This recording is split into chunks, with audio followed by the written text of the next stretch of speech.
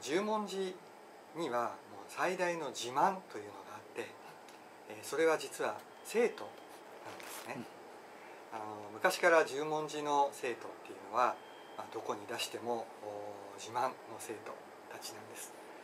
えー素直な生徒が多くてそして、まあ、誰からも愛されるタイプっていううんことじゃないかなっていうふうに思ってます、あの生徒のタイプっていうのは学校のカラーから来る。そんなふうに思ってます、まあ、それが伝統と言ってもいいんじゃないかなっていうふうに思ってるんですね。あの生徒のタイプっていうのは先生と生徒がえー受け継いできてそしてそれが伝統となってまあそれが生徒のタイプを作っている。まあそんなふうに思います。先生の言葉遣いとかそれから生徒と先生の関係性とか科学的にこうだっていうことはちょっと証明しにくいんですがそういうところからあー生徒たちが育っていくっていうふうに思っています。えつまり本校が選ばれる理由として、えー生徒が大きなファクターになっているそんなふうに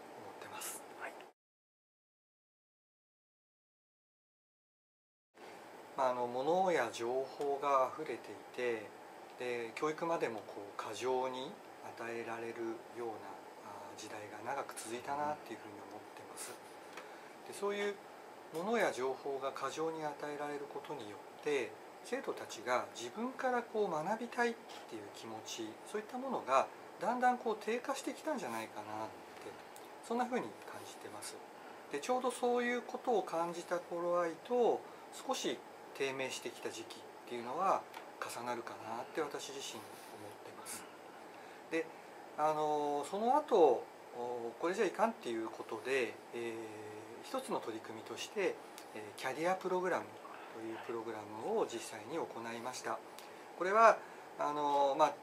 例えば JAXA とか理研とかいろんな外部の企業だったり団体だったり大学だったりえーそういったところと連携して生徒たちを一緒に育てていく。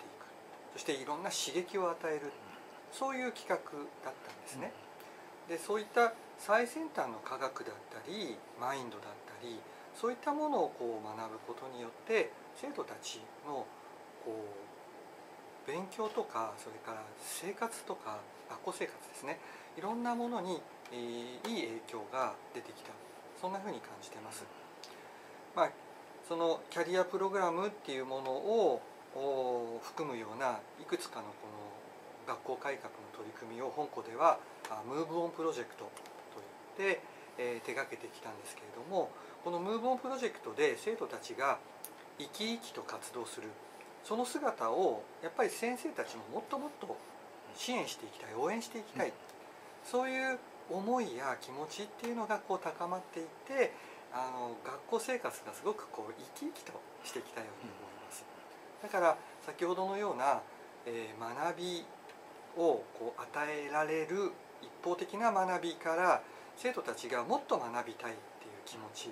えーそういったものへと少しずつこう変わっていったそういうところが、うん、その、まあ、学校低迷期からこう出した一つの大きな要因だったかなってそんなふうに思ってます。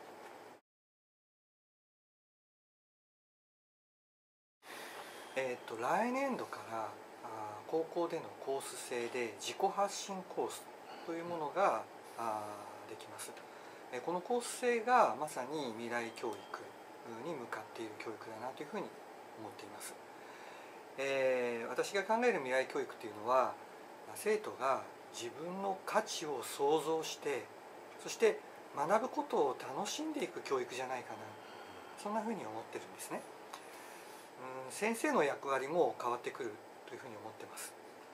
えー教えるのではなくて生徒と一緒に自分の価値を高めていく。互いに高め合う存在になるというのが、うん未来の教育じゃないかな。だから学校という場は大いに挑戦できる場ですしそれからたくさん失敗してもいい失敗が許されているようなそういう場だと思います。そういう失敗を経験することでそれを乗り越える力をつけてそしてたくさん挑戦するということをしてほしいしその挑戦するマインドっていうものはあの今まである常識とかそれから価値観そういったものをいかに壊していけるかっていうことだと思うんですね。あの自己発信コースではマインドとスキルというこの2つの軸を学ばあの鍛えるというところでの教育をまあ、組み立てています。えーと、例えば起業した生徒卒業生、えー、たちに来てもらっていろんなこう刺激を与えてもらったりそれから社会で活躍しているまあその専門領域の人から刺激をもらったりまた時には外へ飛び出していろんな体験をしたり、えー、ボランティアを経験したり。でそういう、えー、いろんな実際の経験を通して、えー、そしてまた挑戦するマインドっていうものが高まっていく。そんなふうに思ってます。そしてマインドともう一つのスキルの部分は自分で、えー、深めていったものをその深め方リサーチの仕方だったりディスカッションの仕方だったりプレゼンテーションの仕方だったりということを学びながら、え、そのスキルを高めていって最終的にはそれをしっかり自分の作り上げたものを発表していく。